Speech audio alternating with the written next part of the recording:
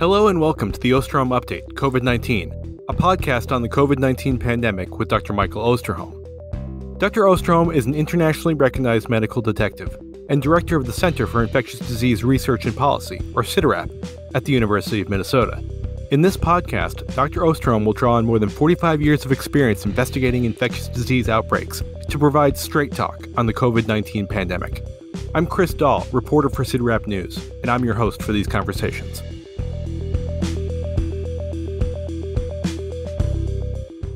Welcome back, everyone, to another episode of the Osterholm Update podcast. On July 21st, the day our last episode was released, the White House announced that President Biden had tested positive for COVID 19. While it was certainly front page news, for the most part, there was little sense of crisis around the infection. The twice boosted president received antiviral treatment, experienced mild symptoms, and continued to work while in isolation until testing negative. While he has since then tested positive again with a rebound case, his symptoms have remained mild. In many ways, the president's infection seems to symbolize our new normal. Like many Americans, the president had in recent months largely resumed his regular activity, even though the BA5 subvariant is running rampant. And while he could not evade the virus, his illness was manageable. As the New York Times noted, the infection underscored how the virus remains a persistent, if muted, threat in a country trying to put the pandemic in the past. Today, on this August 4th episode of the podcast, we're going to talk about our new normal amid the BA5 surge and try to wipe some mud off of Dr. Osterholm's crystal ball to see what might come next. We'll also talk about President Biden's rebound infection, the administration's plans for future COVID 19 vaccines, COVID 19 vaccine hesitancy in parents of young children, and we'll answer a listener question on CIDRAP's vaccine roadmap. We'll also give you the latest on the monkeypox outbreak and share a celebration of life from one of our listeners. But before we get started, as always, we'll begin with Dr. Osterholm's opening comments and dedication. Well, thanks, Chris, and welcome to all of you again to another episode of the Osterholm Update, where I think the more things change, the more they stay the same. Uh, it's one of those weeks again where we're going to be talking about a lot of issues where, frankly, I don't think anyone has a good answer for you. What I'll do is my very best to, on behalf of our team to provide you at least what we know about some of these issues that still challenge us rebound infections, the issue of risk in the community, all the things that Chris has just mentioned in the introduction. Again, I want to welcome the podcast family back for another episode. Thank you so much for your participation, your support, and most of all for your input. We really appreciate hearing from you. We learn a lot and hopefully that is demonstrated in the kinds of uh, information we provide back to you. If you're new to the podcast, welcome. Uh, there'll be parts of it I'm sure you will appreciate. There'll be parts of it you may not appreciate. We kind of have this funky little episode going here where we uh, choose some non scientific aspects of the COVID to, to highlight. Today, in terms of the dedication, this really is almost a dual kind of dedication in that it's not just about COVID, but it's also, in a sense, about monkeypox. As many of you have been reading over the course of the past several months, there's been greater and greater criticism uh, really thrown towards the way of public health about how the monkeypox response has been handled. And without really distinguishing between was this really a federal issue? Was this a state or local issue? Was this a medical care issue? What, what was it that was unsatisfactory about the response? And what I can tell you in conversations with a number of my colleagues at state and local health departments who, frankly, are simply frazzled from running marathon after marathon after marathon of effort throughout COVID, now to be confronted with monkeypox this dedication today will really focus specifically on state and local public health workers, the 210,000 individuals in the state and local health departments that continue to be there day and night, no matter which crisis emerges, how it emerges, trying to protect the public's health, and yet at the same time, often the recipient of criticism and, in many cases, unfortunately, abuse. It's notable that there's been a 15% decline just in the past decade in the number of public health workers in state and local health departments. At the same time, the problems have only grown more complex, more difficult, uh, whether it's dealing with the specifics of COVID, monkeypox, uh, the very sh- rapidly shrinking levels of immunization among our children in this country, the rising uh, tide of a number of infectious diseases, particularly antibiotic resistant infections. The bottom line is we're asking fewer and fewer people to do more and more. And I think that what really concerns me is that currently it's estimated that 47% of public health workers in state and local health departments plan on retiring or leaving the field in the next five years. That could be a real public health tragedy. And so today, I just want to say to my colleagues at state and local health departments, thank you for what you do. We're not minimizing our federal partners, uh, but you often are uh, acknowledged or addressed in what you do. And it's often the frontline state and local health department folks that don't get that recognition. So today, we dedicate this podcast to you. Of course, we can't have a podcast without talking a little bit about light light's a very important issue for us here in this uh, podcast family, or at least for most of you. Uh, here today on August 4th, here in Minneapolis, St. Paul, uh, sunrise at 6:02, sunset at 8:35. We have 14 hours, 33 minutes, and 24 seconds of sunlight. Almost six hours more than we will have uh, come December 21st. So there's a lot to celebrate yet about the light in our communities. Now, it is true, just uh, for the last day, we've already lost two minutes and 29 seconds of sunlight, and that number will actually grow each day as we get closer to the first day of fall. And then the number actually begins to reduce to the point of when it gets to December 21st and again turns the corner. Today, the emphasis I want to place is not that sunlight is decreasing, but that sunlight is still here. It's beautiful. And enjoy it uh, for those who are experiencing severe heat issues, I know sunlight can be considered at best a challenge. Uh, and we are thinking about you and all the public health issues that come up around uh, heat related uh, injury. For now, let's all smile on this bright sun and appreciate it. And for those in the Southern Hemisphere who are really committed listeners, thank you. Uh, your days are getting longer. Hang in there, your days are getting longer. Mike, let's start with the international situation. As we've noted in recent episodes, BA5 is the dominant variant around the world, but it seems to be having different impacts in different countries. For example, while most countries are seeing smaller BA5 driven surges, the surge in Japan appears to be worse than what the country saw with the original Omicron variant. Do you have a sense of what's going on? Well, that's a great question, Chris. Let me just start out with a reminder that this pandemic hasn't exactly offered too much in the way of straightforward cookie cutter models. You all know that if you've been listening to this podcast. So, comparing activity in different locations, whether you're talking cities, states, countries, or even regions, can be a real challenge.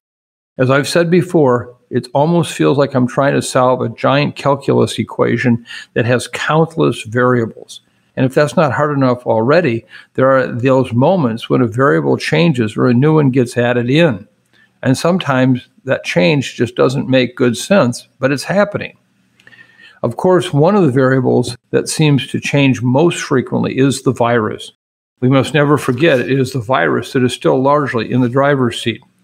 So, with these new versions we're seeing, whether it's a variant or a subvariant, I feel like I'm continually trying to recalculate.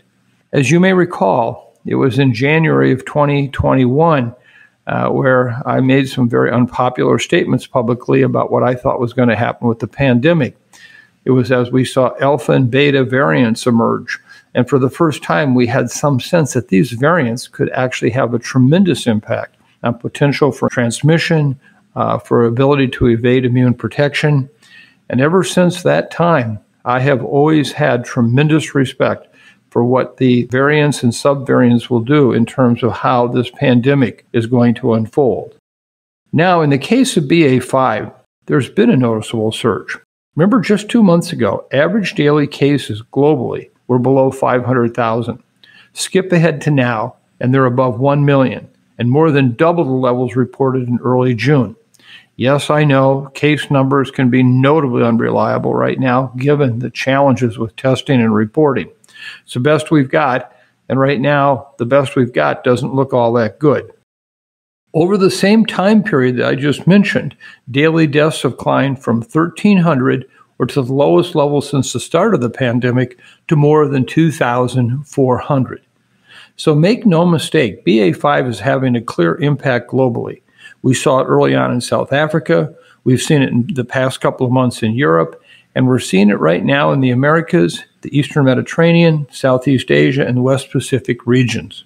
However, despite its presence in every region of the world, the BA5 wave that some countries are dealing with has something that's looked quite different from the BA5 that other countries have experienced. In some places like South Africa, BA5 led to a noticeable wave of infections. However, it eventually peaked at a fraction of the levels reported during their initial Omicron surge. And although deaths in South Africa also increased from BA5, they didn't come anywhere close to the numbers reported during BA1.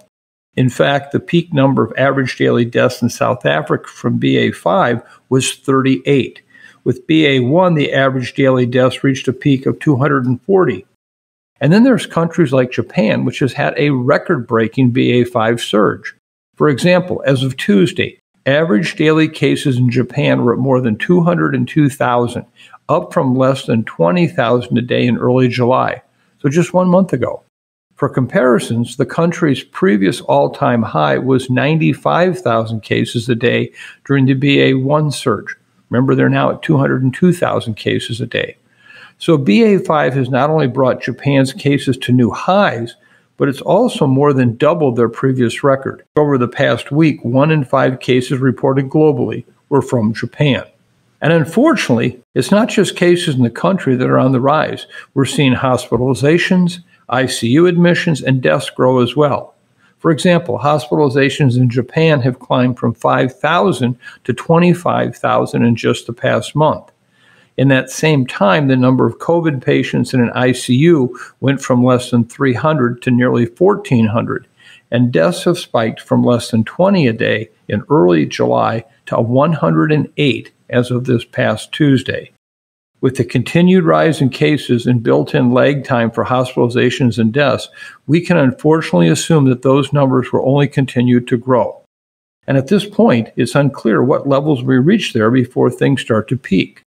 But at least for the time being, hospitalizations and deaths in Japan are still well below the peak hit during BA1, where hospitalizations surpassed 29,000, ICU admissions were at 2,100, and daily deaths hit a record high of 232.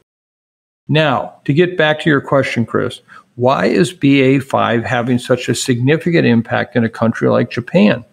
Why are Australia and New Zealand reporting record high numbers of deaths from the BA5 wave, while places like South Africa, parts of Europe, and the US have seen lower levels? Well, I don't think there's any one simple explanation. However, there are a couple of things I want to point out that might help add some perspective. First, when you're looking at a country and comparing it where it's at now with previous points in the pandemic, it's always important to remember the bigger picture. In many ways, the pandemic has felt like a marathon. And while each leg of the race, or a mile in the marathon, is significant, it's still part of a much larger event. So with BA5, there have been some countries that have had a more difficult experience than they had at any previous point in the pandemic. These are the places like Japan, Australia, and New Zealand. And it's been a challenge for them. But when you zoom out and look at where these countries stand in terms of the entire pandemic marathon, you can see that they've also done quite well. For example, if you look at the number of cumulative COVID deaths per million, in other words, the total number of deaths since the start of the pandemic, after adjusting for population, there are more than 130 countries with higher rates than Japan. For example, the top of the list is Peru, which has documented 6,358 deaths per million population so far. The US ranks 21st with 3,058 deaths per million. And if you keep going down the list, you'll eventually make your way to Japan, which has reported a total of 262 deaths per million population as of Monday. Again, that's in contrast to Peru with 6,358 deaths per million and the United States at 3,058 deaths per million. Again, the number of deaths reported in Japan is 11 times lower than what we've reported here in the US. So I think it's important to keep the bigger picture in mind. And this gets me to my second point, which is somewhat related. A factor that could be contributing to the larger BA5 wave in countries like Japan, Australia, and New Zealand is their ability to limit transmission throughout most of the pandemic, or at least until Omicron arrived. In other countries, including South Africa and the US, there have been multiple waves with a number of different variants, which has each resulted in significant portions of the population becoming infected.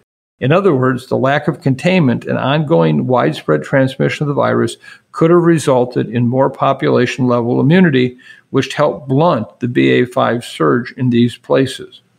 So, needless to say, there are a number of theories, and I'm not sure what the exact answer is. Again, when I look at my crystal ball with five inches of caked mud, that helps explain why I know what I know and what I don't know. But regardless, I don't think the mantra, you're only as good as your last race, is all that applicable in a pandemic. Yes, some countries are being hit harder than others with BA5, but ultimately, BA5 isn't the first leg of the COVID marathon, and I don't think we can expect it to be the last one either. Here in the US, where BA5 now accounts for 85.5% of all new COVID 19 cases, the seven day average has hovered around 120,000 to 130,000 new daily cases for the last few weeks. Again, we have to note that this is likely an undercount, and we are seeing increases in hospitalizations and deaths, but it is not anywhere near what we saw with the initial Omicron wave. Mike, what's your assessment of the current situation in the US? Well, it is important to acknowledge, I think, one very important point that we are in an unprecedented time in the pandemic in the United States. And what I mean by that is we have gone from this surge and peak, big increase in cases to this trough of low number of cases, or at least lower, and then another peak, almost like moguls on a ski slope. Now we've almost hit the Great Plains, and it's high, but it's just level. So let me just start by saying that things don't seem to be moving or changing significantly here in the US, but the virus is certainly not going away. Let me just come back and for the eighth consecutive week, and I can't wait until I can change this conclusion. I know of more people with COVID this week, friends, colleagues, neighbors, than I have at any time in the pandemic for a one week period. This past week was the first time in the entire pandemic, dating back to 2019, where I knew of four different people who died from COVID. Now, while the case numbers are not going off the roof, the number of deaths are not anywhere near what they once were. This virus is simply not done with us. So, in short, the numbers have plateaued at a relatively high level and remain constant over these multiple weeks, unlike any time in the pandemic in the United States. Activity seems to be distributed relatively equally across the entire country with no specific regional trends. We're not seeing specific states lighting up with COVID, while other areas of the country are relatively quiet, like we have in previous surges.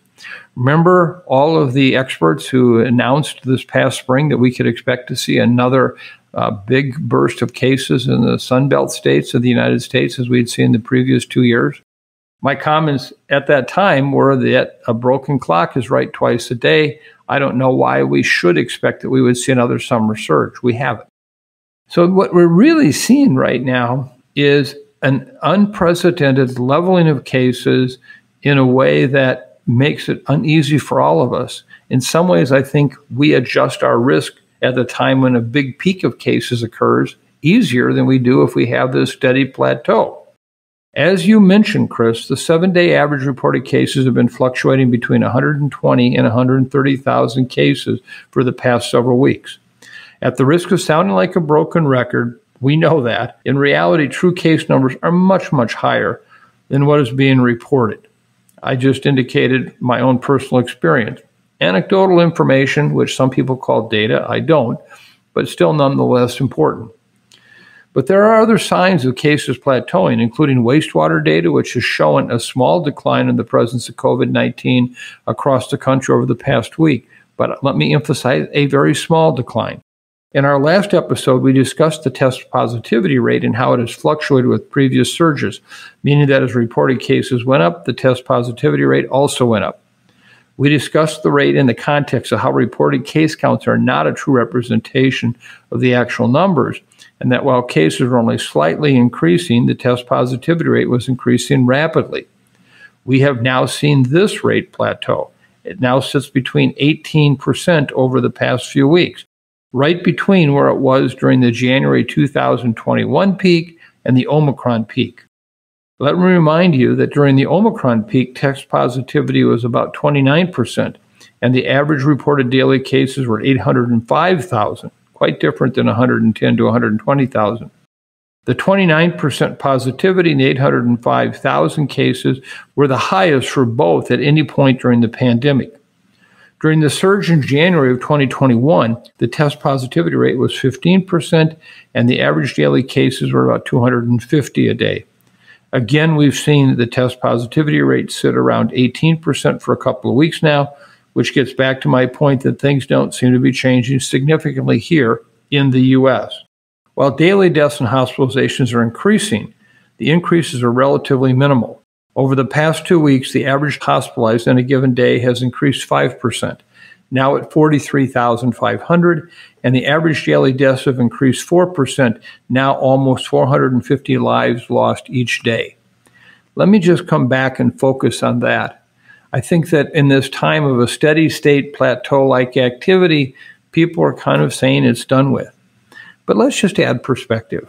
At 450 deaths a day, extrapolate that number to the number of deaths that might be expected annually, which takes it well over 160,000 deaths a year, which now places this illness as the number four cause of death in this country.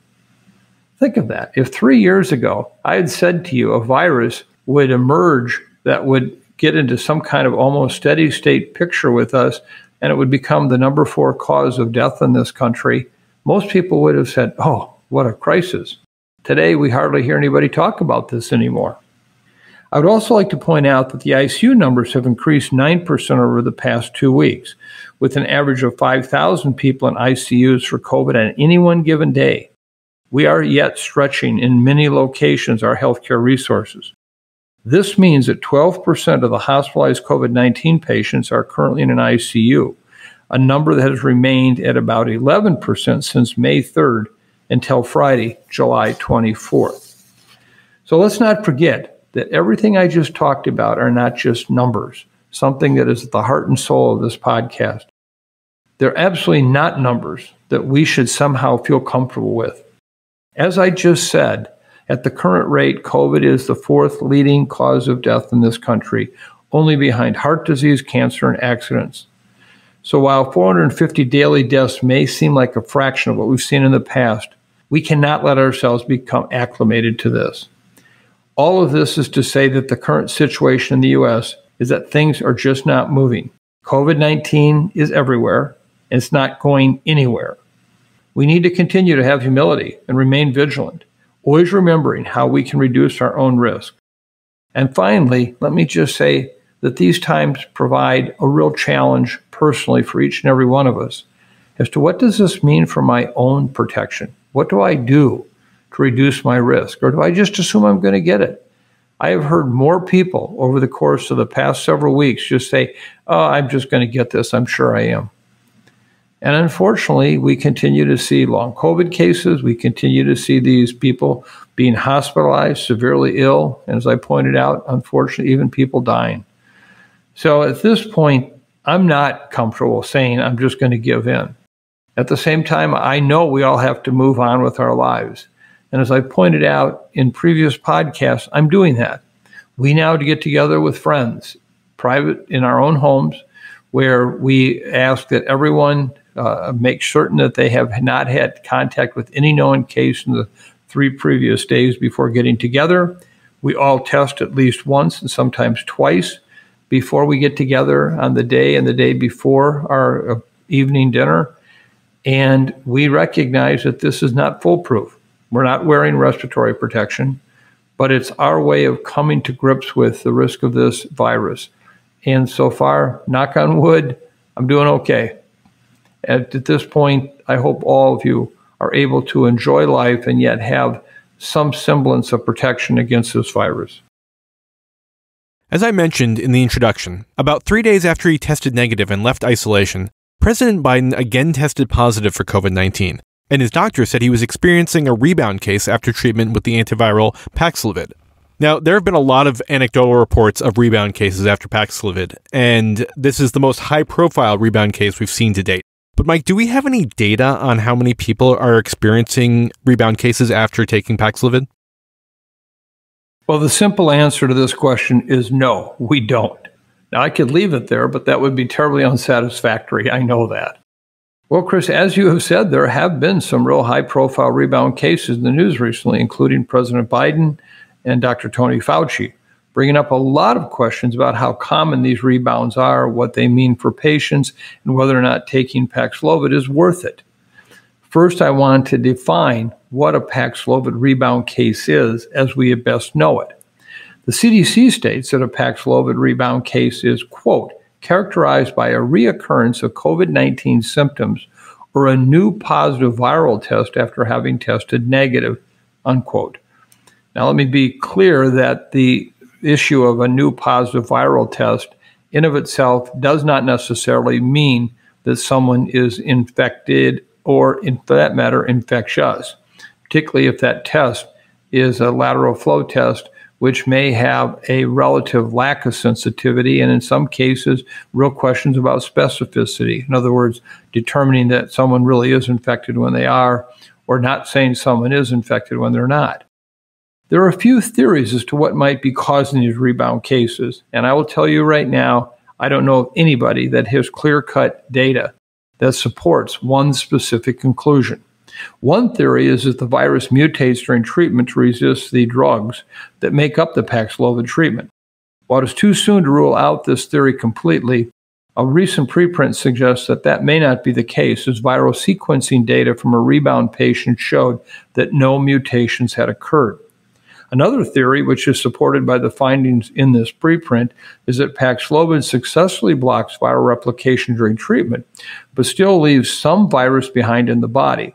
When the patient stops taking Paxlovid, the virus begins to replicate again, resulting in a new positive test or a reemergence of symptoms, or both. If this is the case, a longer treatment may be beneficial to patients. Some healthcare providers are now prescribing longer courses of Paxlovid, but as of right now, no official recommendation has been made to lengthen the course of treatment. These rebound cases are almost always reported as being mild or moderate worst in terms of symptoms. In clinical trials, rebounds occurred in just 1% of patients, but currently rebounds are estimated in large data sets of patient follow up to occur in about 5 to 6% of patients. But honestly, the real number of rebound cases is likely even larger. In short, we don't really yet understand what positive and negative tests mean in light of a rebound. Again, let me come back to the point that if you are found to be positive by either lateral flow or PCR testing after you have had a series of negative tests and likely some recovery, doesn't necessarily mean that you are or are not infectious. But I do want to add we have now a growing number of instances where individuals had exposure to someone who was in a rebound stage and for which this is their only exposure they had and they did get infected. So it is clear that rebound related infections can still result in transmission of the virus. So this is surely a really substantial challenge to understanding what does this all mean in our everyday practice of trying to isolate and to protect people who may be at high risk. We currently have every reason to believe that Paxlovid patients are able to transmit the virus during their rebound. On May 24, states that patients should restart their isolation if they have a positive test after testing negative or if their symptoms reappear, though they do not state this in the isolation guidelines on their website. While having to isolate again is surely a challenge for many individuals, for most people at risk for severe disease and death, the benefit of preventing these outcomes outweighs the risk of having to isolate again. I would urge anyone who is currently taking Paxlovid or may take Paxlovid in the future to be aware of the risk of a rebound case and test accordingly. But I hope this does not discourage people at high risk of severe disease from seeking treatment.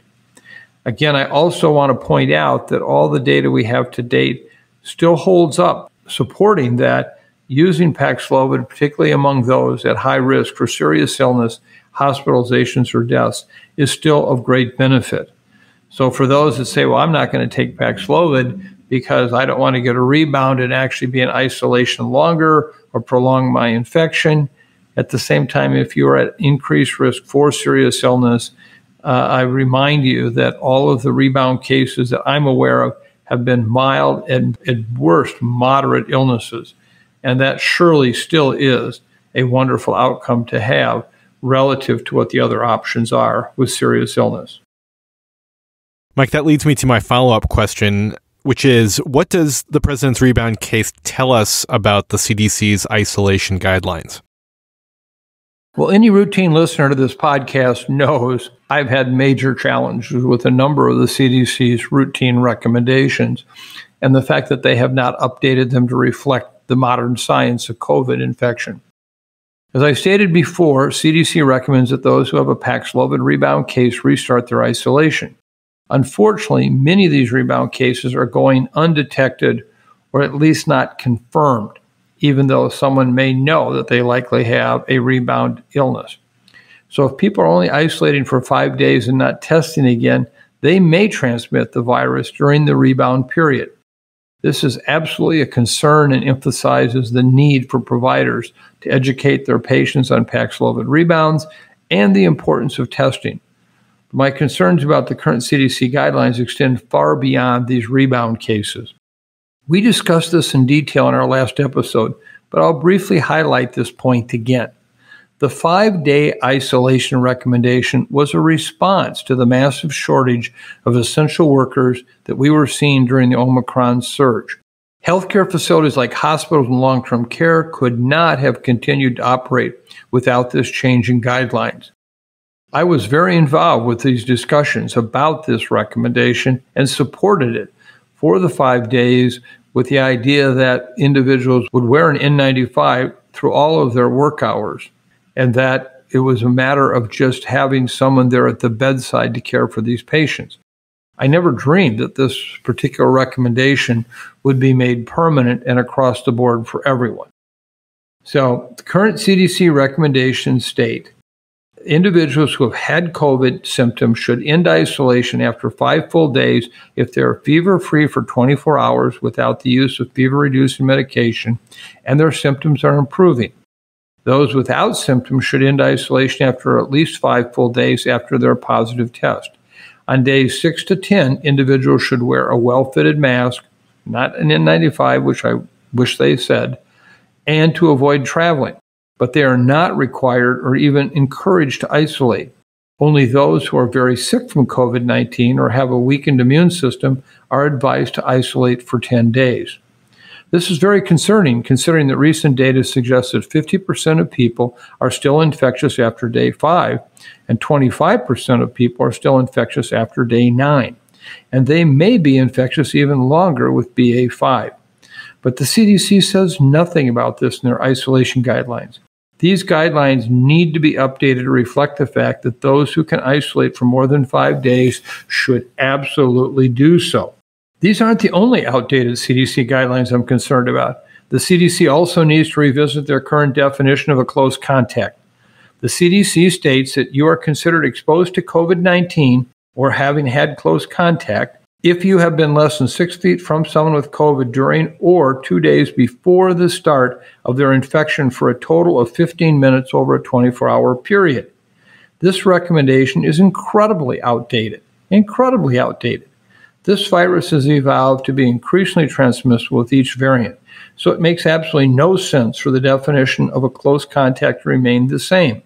Imagine if I was seven feet away from you for 15 minutes and I was smoking and the smoke was blowing right into your face, you could imagine how, in fact, I was sharing my virus with you as I breathed out air.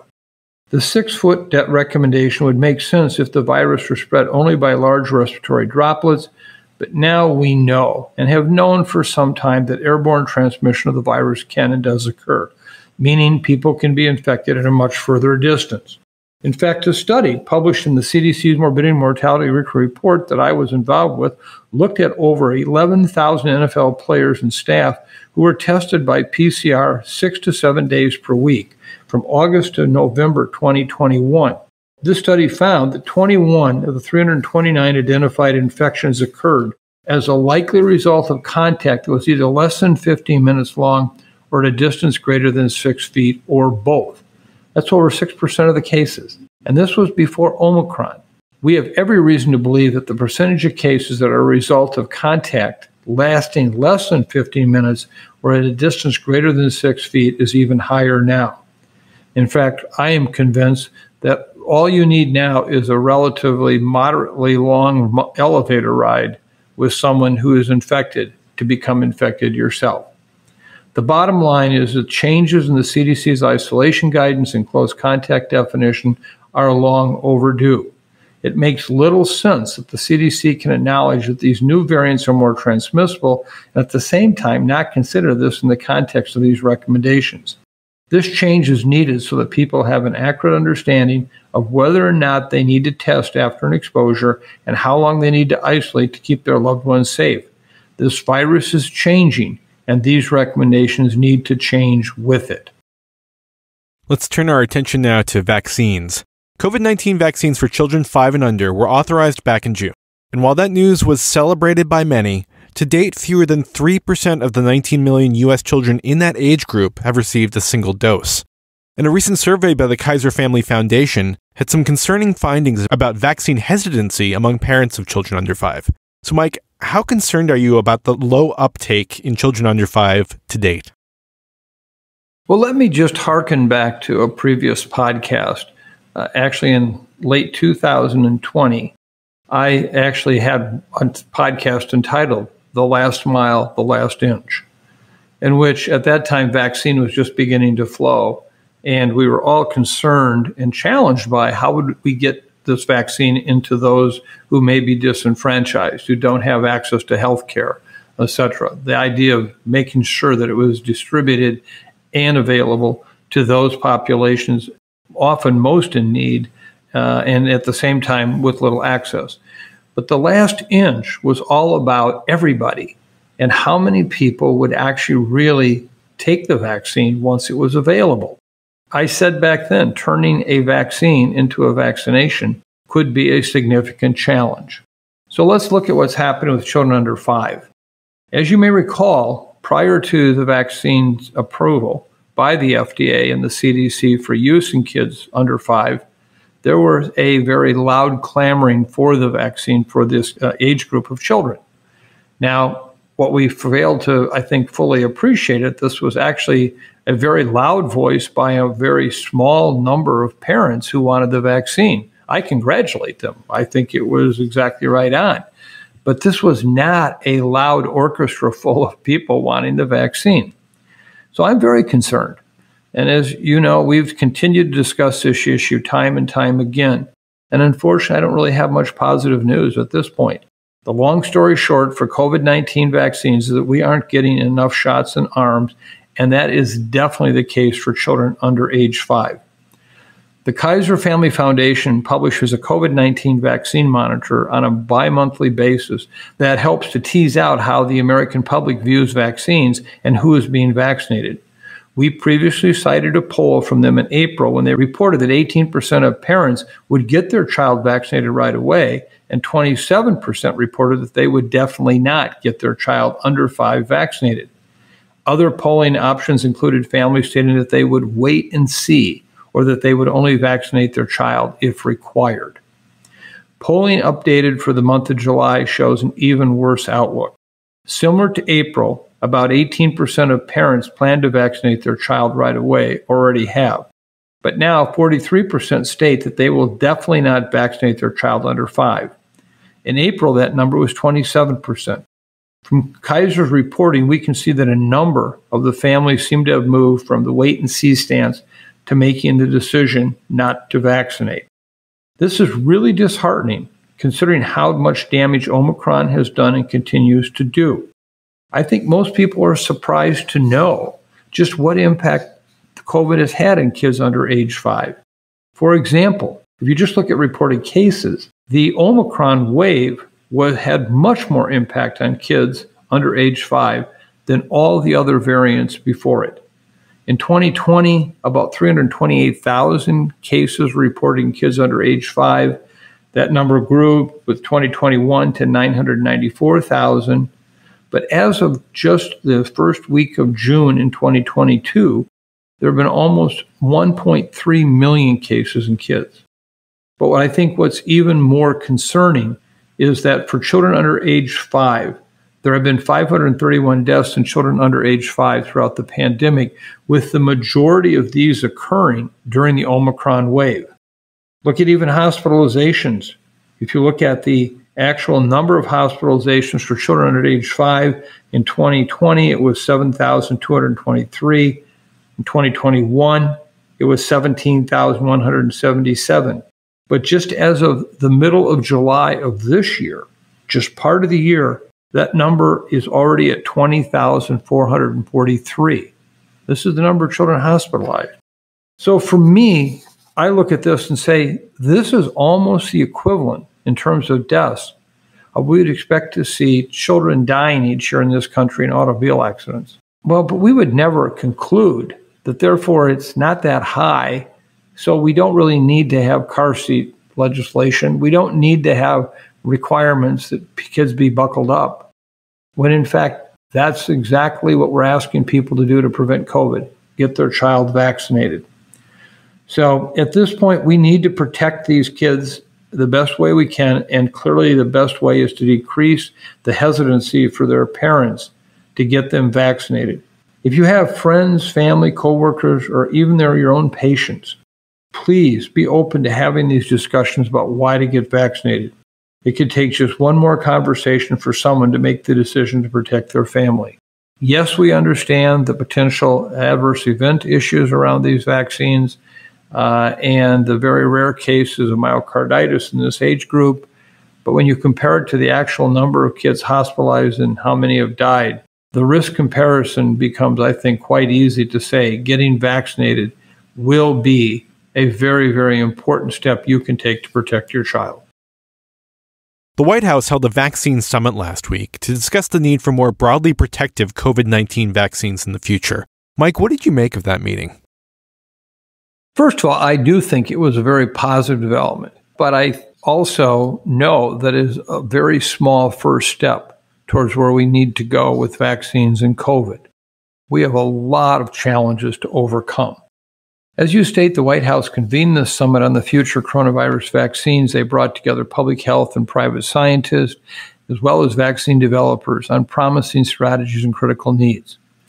The meeting covered a wide range of topics. As you can imagine, vaccine development requires numerous different skill sets. The group started by going over the biology of the virus and any stable targets we can use to make vaccines more durable. There was also some discussion of biology related to how research approaches protective immunity, our antibodies and our T cells. Next, the group discussed different technologies we could use, from nasal sprays to microneedle patches. Finally, they talked about the challenges related to global availability of vaccines, equity, and effective efforts in community engagement. I was really pleased to see this as a major area of discussion. Inequities are a consistent challenge, not just in this pandemic, but all the public health work we do. If we don't take steps to facilitate access for everyone, we're really, truly not doing our job. My takeaway from this summit was very cautiously optimistic. First of all, I heard a lot of discussion about the uh, possibilities with nasal vaccines. Yet I heard no really good discussion about the challenges we've had with nasal vaccines in the past. As some of you know, our group has been very involved assessing the effectiveness of influenza vaccines. So, our group has clearly demonstrated that the nasal vaccines can be very successful in preventing influenza when administered to young kids who have not previously been vaccinated or who have not previously had influenza. When either of those events occur, there is some immune action that occurs in the nasal area that can actually reduce the effectiveness of a live virus vaccine growing in that area of the body. And that is the very reason why this vaccine is not used in adults, because adults have done really very poorly with the vaccine because the uh, kind of immune response you'd hope to get is aborted by your own initial immune response to the vaccine. We can be optimistic about the use of uh, vaccines for SARS CoV 2 or COVID, but we have not looked at all at what the interference might be with previous infection or previous vaccination. And I worry about that. And in fact, one of the company executives there completely misstated the state of the art around the nasal influenza vaccines and how well they work in adults. So I think that's a challenge. We've got to understand, just to the extent we can, what is actually uh, doable relative to things like nasal vaccines. The second thing is, I just don't see the resources forthcoming. We're not going to have another Operation Warp Speed 2 where there is unlimited resources available to explore these vaccines. And so they're going to have to be commercially successful right from the start for companies to invest surely there will be federal government investment in these, but will it be sufficient to move these along? So I worry right now that we're in this almost, uh, you might say, black hole of COVID vaccines, meaning that the uh, work that was done on the mRNA vaccines, the adenovirus vector vaccines, etc., uh, surely was a major, major effort that did save millions of lives. But as we've discussed multiple times, it's not enough. These vaccines are not going to get us out of this pandemic and for the foreseeable future, really reduce the likelihood of COVID in our communities. And the challenge we have is how long will it take us to get to better vaccines if we can at all? And we're not seeing any of that discussion. There is no real plan right now beyond what we have. And you can see with what we have right now, has surely challenged us in terms of addressing COVID in our communities. This brings us to our COVID query segment, which continues on the vaccine theme. Today's question comes from Mitch, who wrote to us after our last episode. Mitch wrote, This past week, Dr. O mentioned that the team is working hard on better vaccines. Can you give us some information? So, Mike, what can you tell our audience about CIDRAP's COVID 19 vaccine roadmap project? Well, I'm glad you're interested in this work, Mitch, and I'm happy to share more about what our magnificent team here at CIDRAP is doing. Before I go into the specifics, I want to provide some context around the issue as well and why we've entered into this work. When we discuss coronavirus vaccines, as I've already shared, we are really facing a series of major challenges, two in particular. The first is mitigating this current COVID 19 pandemic the virus continues to mutate and evade protective benefits of the vaccine, reducing its effectiveness.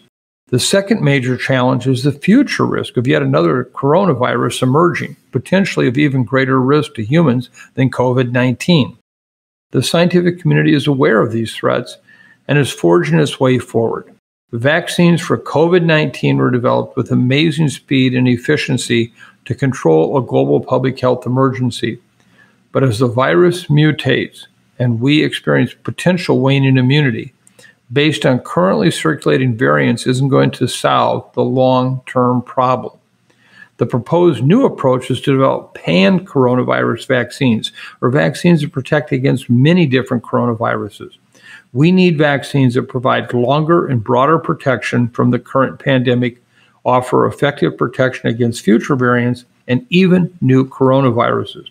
It's really promising that leading researchers, industry, and political will are aligned in moving this forward. However, as I noted in the previous uh, question and answer, I still reserve judgment as to just how much we can accomplish without a new major funding commitment to this effort. We do, however, have some recent examples of groups coming together to work on this issue. One example is NIH, specifically the National Institutes of Allergy and Infectious Diseases, and the Coalition for Epidemic Preparedness Innovations, also known as CEPI. They are launching an initiative to develop pan coronavirus vaccines. They recently convened an expert panel to outline the science, challenges, and possible solutions to make these new vaccines a reality. Another example is the White House summit we just discussed. Finally, let me share with you what we're doing here at CIDRAP. We have had a long history of developing vaccine roadmaps, really bringing together all the information we have about what are the barriers, what are the opportunities, how do we actually make these vaccines a reality. CIDRAP, with support from the Wellcome Trust, developed extensive roadmaps for Ebola, Lassa, Nipah, and influenza. In addition, with the World Health Organization support, we led the way to develop a roadmap for the Zika virus. And now we're addressing the issue of coronavirus vaccines, an incredibly complex task. Our team, with support of the Rockefeller Foundation and the Bill and Melinda Gates Foundation, is leading the development of a roadmap for research and development of pan coronavirus vaccines. The purpose of the roadmap is to outline multiple specific areas that must be addressed for development of these new vaccines. The roadmap includes clear targets for an agenda that are specific, measurable, and time bound. We have over 50 scientific experts from around the globe currently reviewing this strategy and building a comprehensive framework to make these new vaccines a reality. You can imagine that this isn't an easy feat, especially trying to schedule virtual meetings with really busy people across so many time zones. But it's really encouraging that people across the Americas, Europe, Australia, Africa, and Asia are willing to meet, sometimes in the middle of the night, because they know this is a global priority. I recognize it can be harder to see the value in big meetings of people talking about COVID 19 in comparison to a scientist in a lab creating the next compound. But I think everyone in our podcast family knows by now public health is a team sport. If we're going to come up with innovative and effective solutions, we can't rely on just one or two people in leadership to make a decision. It has to be multidisciplinary. We need to start working at the most basic research and development levels of vaccine development, all the way up to manufacturing and regulatory science. Even if we develop a fantastic vaccine, how do we ensure we can distribute it in an equitable manner globally? What community engagement will be necessary to effectively get shots in arms? A single epidemiologist, infectious disease doctor, microbiologist, or supply chain analyst can't answer all these questions. From start to finish, we need everyone in the room working together. And that is what CIDRAP is doing right now to support the development of pan coronavirus vaccines for the future. And now for an update on the monkeypox outbreak, which continues to grow in the US and elsewhere, leading the World Health Organization to declare it a public health emergency of international concern. Mike, I know you have a lot of concerns about this outbreak, about the availability of vaccines, and about public health messaging. Where would you like to start? Well, Chris, I think the most important thing we have to do is start with what do we really know and not know?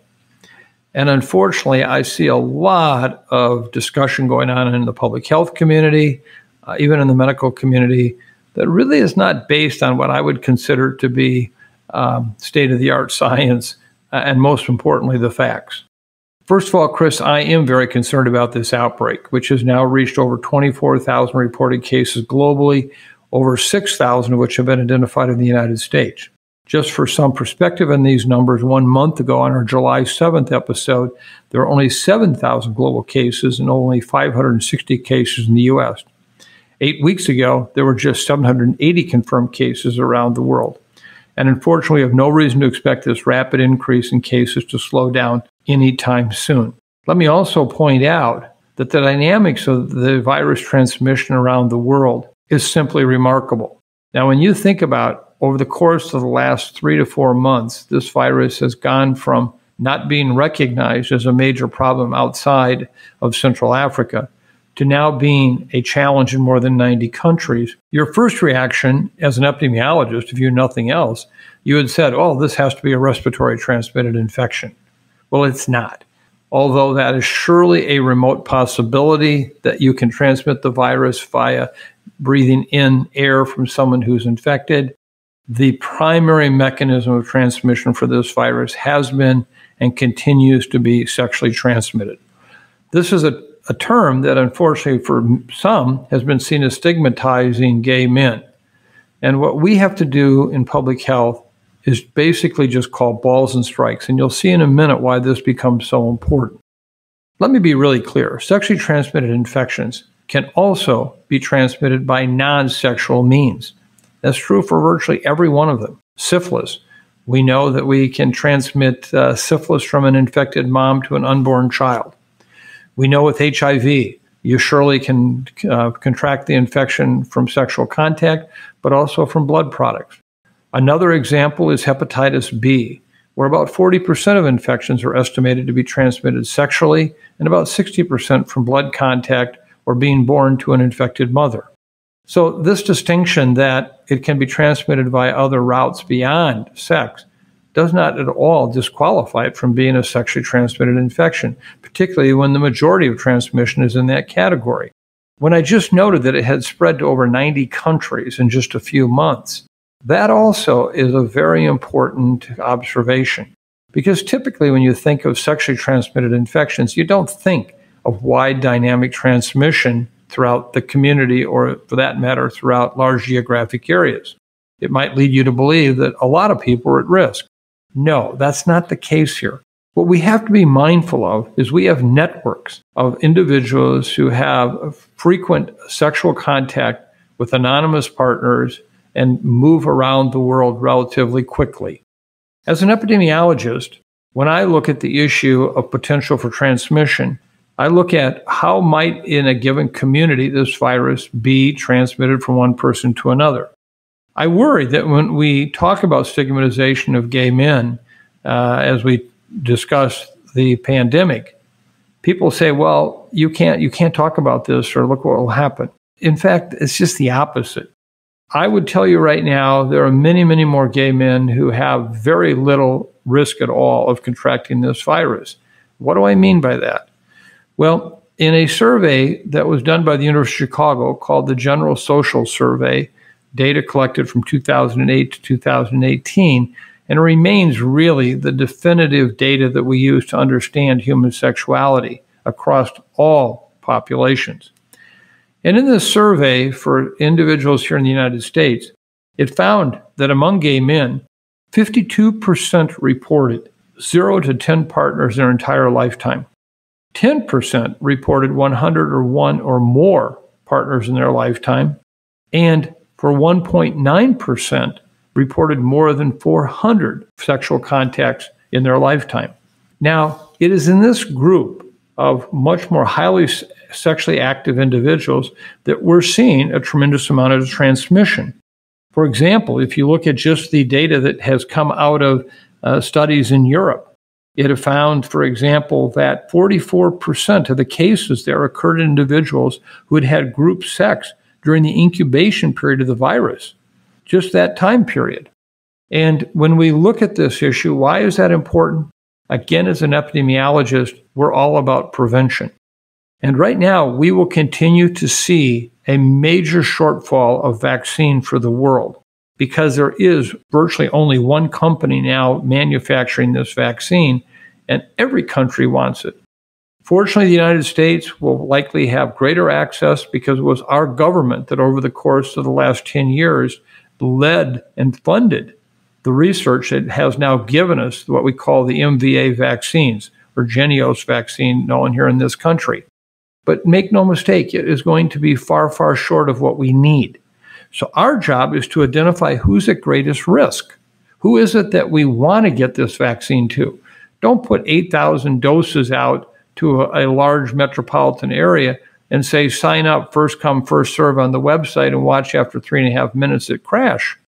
We need to be working closely with local community experts, those from the gay community, those from the black and brown communities, those in the medical community, public health, to come up with a plan for how will we distribute what limited vaccine we have in our communities and help avoid at least some of the anger and lack of understanding of what's happening. There's not some effort here by public health not to get vaccine out. This is a vaccine that is somewhat fragile. If you know about the New York Times story this week, you saw that more than 20 million doses of this vaccine had to be thrown out not long ago because it lost its potency. When the United States actually drove this research and bought the vaccines they did in stockpile, they did that with the understanding that over time these vaccines would lose their potency and that they would need to be basically thrown away.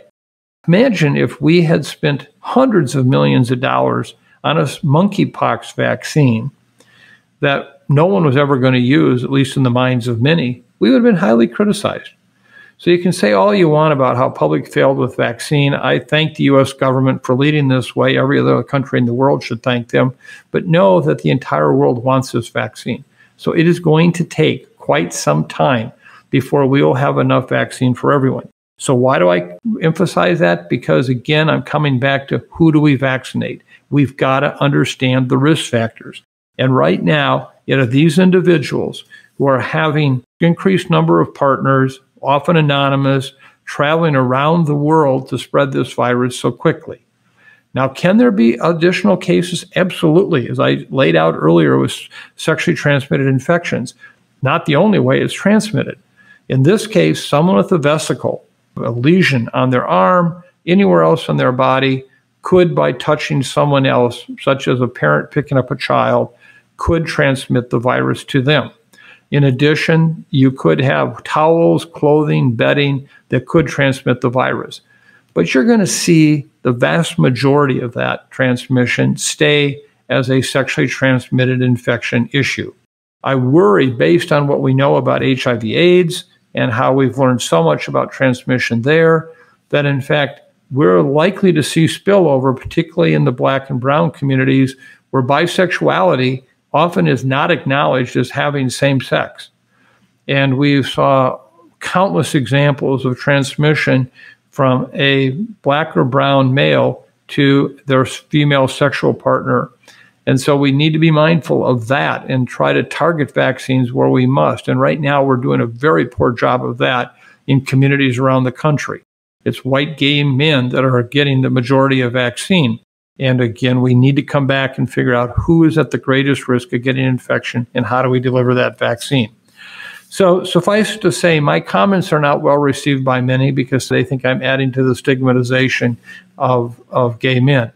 First of all, I hope my comments give a lot of gay men the reason to know they're not at risk.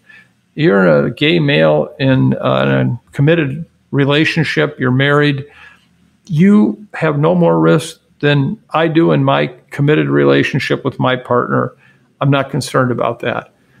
So we want to make certain that these individuals realize that they are not at high risk.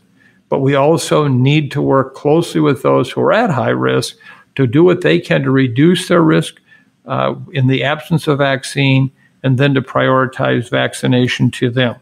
Again, it's about calling balls and strikes. It's not about trying to stigmatize any one population.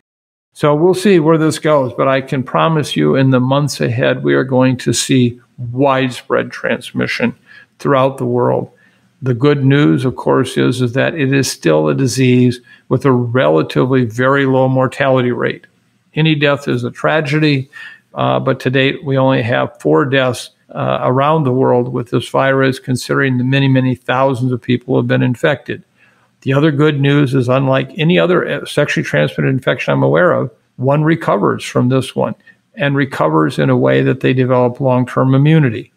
And so, unlike uh, any of the ones I mentioned syphilis, hepatitis, HIV, uh, herpes, uh, chancroid, any of those diseases have ongoing infection status until treated, or in some cases, like HIV, um, it's difficult to treat, but in fact, you can take drugs to reduce the likelihood of developing severe illness.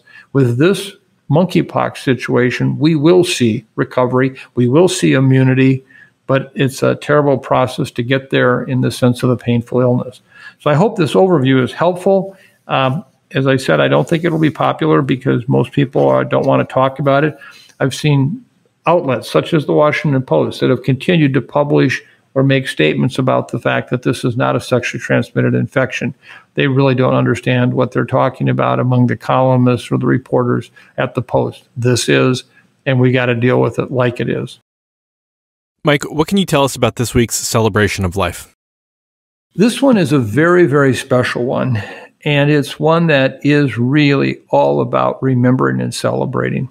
Uh, we received an email from Kira, and I'm going to read it to you and we will post the uh, link that she provided to us to, and you'll see why this link is so important. Kira wrote, I was hoping to share information regarding the annual COVID March, which will occur on August 6th of 2022. You can walk anywhere in the world to honor lives lost to COVID. My sister lost her battle to COVID on July 8th of 2021, and I'll be participating in an independent walk with my family at beautiful Mirror Lake in Utah. The main event is held in Brooklyn. I do not know if your listeners are aware of Hannah, a young lady who lost her grandfather to COVID. She has honored more than 2,500 lives lost to COVID through painting faces of COVID victims. Her family is the host of the event. Please consider sharing this information in your next podcast to reach listeners who are grieving lives lost to this. It might be helpful for those to feel not so alone as we continue to live with this terrible virus. Thank you, Kara. And the link is here. And what a wonderful way to celebrate those we have lost. I can't imagine a more fitting and appropriate thing to be doing coming up in just a couple of days. So I hope you'll all take a look at the link. Anyone can participate around the world and all feeling unified in the fact that we so miss those we love, we care for, we think about and now is a fitting time to remember them. Thank you, Kara. And just a reminder to our listeners that if you want to share a celebration of life for a loved one, friend, neighbor, or coworker who died during the pandemic, or if you want to tell us about the beautiful place that helped get you through the pandemic, please email us at osterholmupdate at umn.edu. So, Mike, we've covered a lot. Uh, what are your take home messages for today? Well, my first take home message is I hope you're not growing tired of all this discussion. It seems as if somehow, uh, you know, it just doesn't get easier. But let me summarize three major points. First of all, we are in the long days of the 2022 summer and BA5. Imagine throughout the course of this pandemic, we've seen these big peaks and valleys occur over and over again. And now here we sit in what appears to be the high plains increased numbers that just don't change. How long will that last? We don't know. But one is we have to understand what this means. And it means that there is still substantial infection in our communities. And we are seeing what I believe is still an unfolding tragedy in terms of the number of deaths associated with COVID. Number two is, as I pointed out in looking at what we know and don't know, there is so much in the way of recommendations that we've put forward as a public health community that frankly are based on little or real information. And it's time for us to go back in and do a house cleaning. We need to clean this up. We need to decide what does full vaccination mean? What are the kinds of appropriate actions we should take to reduce transmission in terms of what is a contact time? I can go through the laundry list. Now is the time we're calling on CDC and other public health authorities to come together, clean up a lot of these very confusing and many times incorrect uh, definitions that we're using. Finally, the third thing is monkeypox is going to get a lot worse before it gets better. Expect that. It's going to. And we will not have enough vaccine, and you can yell and scream at the world about not having enough vaccine, but that's not going to help you get the vaccine that we do have to the people that most need it and we must do that. So we also have to have an international response to monkeypox. If we take care of it only in one country, we really don't take care of it because the virus will continue to spill back into that country over and over again. So, one of the points that is going to be a very important measure over the course of the upcoming months how well do we coordinate all the international activities and how do we get vaccine to Central Africa where we will continue to see the virus spin out of the animal populations to humans if we don't protect that population. And do you have any closing songs or poems for us today, Mike? Well, Chris, I do. Uh, and it's one that's actually a, a special one for me, but it's one that we had used before, but I hadn't realized we hadn't used it since episode 27 back in October of 2020, some time ago. This is a song that is familiar, I'm sure, to almost all of you. Uh, it was written by Burt Bacharach and Carol Bayer Sager. It is one that was initially part of a soundtrack for the movie Night Shift. But in 1985, it became the cover version of a very, very special effort a charity for AIDS research and prevention. And of course, by now, many of you realize I'm talking about the song, That's What Friends Are For. Dionne Warwick, Elton John, Gladys Knight, and Stevie Wonder recorded this song. It went on to raise over $3 million for AIDS research. And it's a song whose words are about hope and about coming together and what friends mean to each of us. And from that perspective, I think today we can all feel the need for that.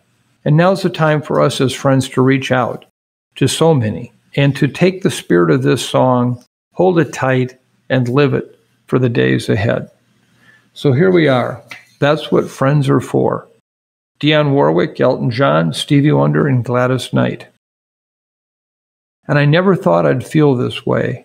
And as far as I'm concerned, I'm glad I get the chance to say that I do believe I love you.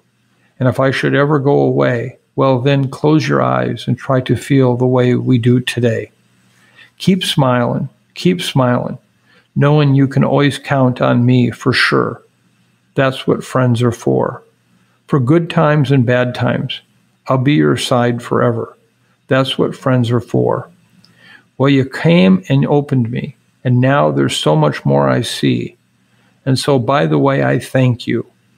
Oh, and then for the times when we're apart, well, then close your eyes and know these words are coming from my heart. And then, if you can remember, oh, keep smiling, keep smiling, knowing you can always count on me for sure. That's what friends are for. In good times, in bad times, I'll be on your side forever. That's what friends are for. I'll keep smiling, keep shining, knowing you can always count on me for sure. That's what friends are for. For good times and bad times, I'll be on your side forevermore. That's what friends are for. Keep smiling, keep shining, knowing you can always count on me. For sure, because I tell you, that's what friends are for. Thanks again for being with us uh, for this episode. Uh, we very much appreciate uh, you being with us and what this all means to us and to you.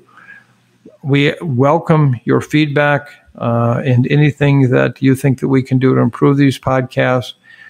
And we also welcome the opportunity for all of us to take a moment and just think about all the people we know that have been so harmfully impacted by COVID. And as we talked about in terms of our remembrance today, go take a look at that link on our website. And remember, August 6th is just a couple days away. Do something, respond to that. So, thank you very much. All we can say is be safe as you can. I'm continuing to take my approach of I'm not going to get infected with this virus uh, and, and still enjoy life at the same time. And also be kind. It's a tough world right now. It's very hard to be kind in many ways, but be kind know that we'll get through this. So thank you very much. Have a great week. Be safe. Be kind. Thank you.